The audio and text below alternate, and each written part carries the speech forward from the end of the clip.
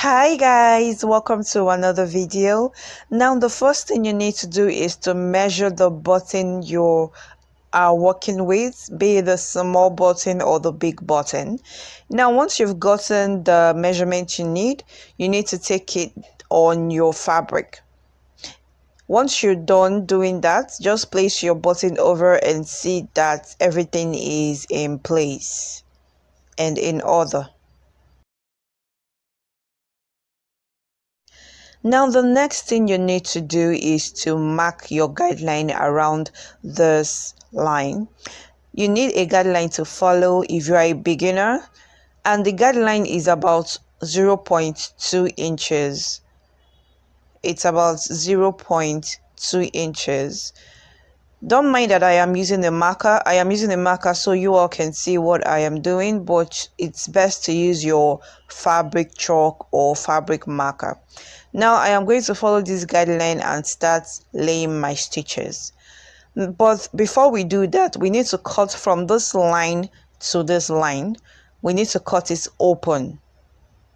Now I will fold my fabric in half and I will make my cuts.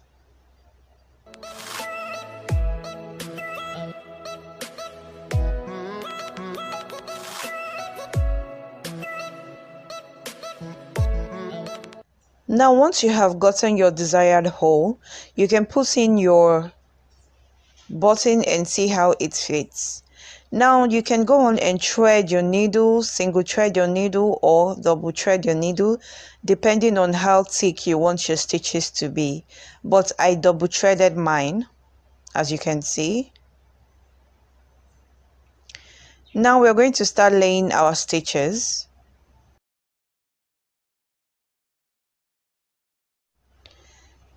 Now put your needle through that guideline mark. And now I will just knot my thread. Cut off the excess.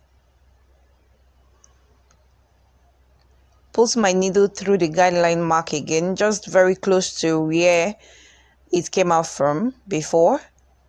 Now make sure you take this thread the thread from your needle and take it over the needle like this. Let me do that again. Take this thread and take it up and over the needle. Now pull your needle.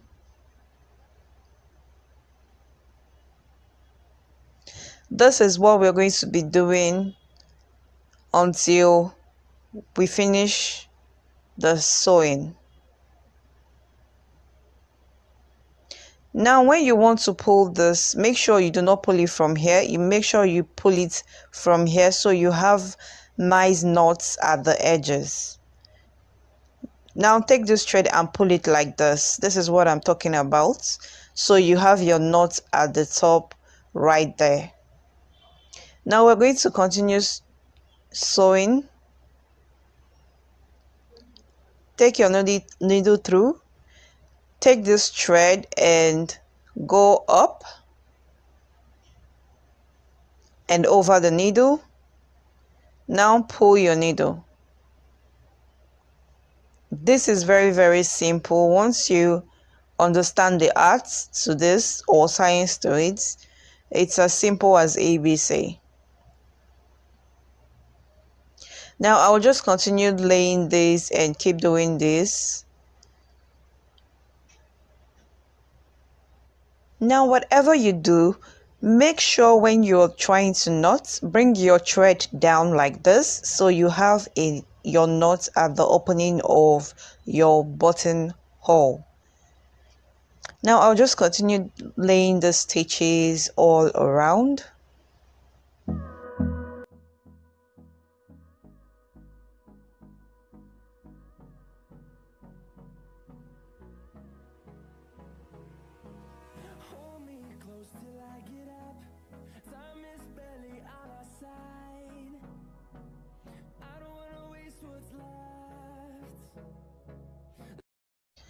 Now when you sew and get to this cuffed part, you need to spread your stitches.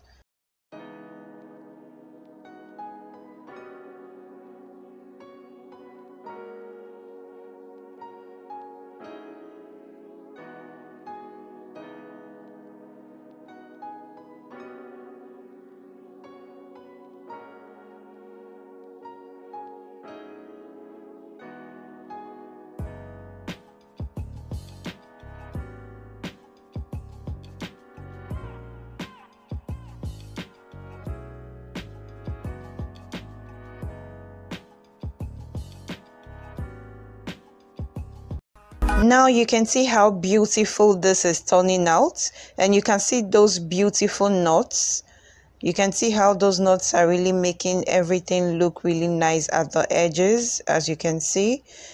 Now I'll just continue making my stitches and I'll just keep doing what I have been doing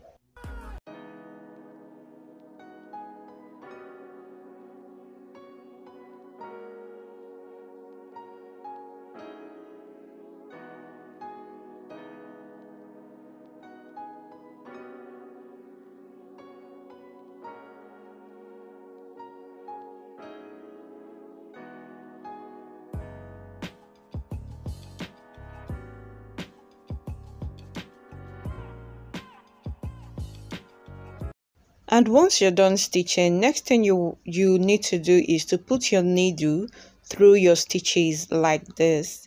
And this would help to hide the ends of the thread which would in turn give you a much more neater finishing. Just do what I am doing and you would see how nice and neat everything would look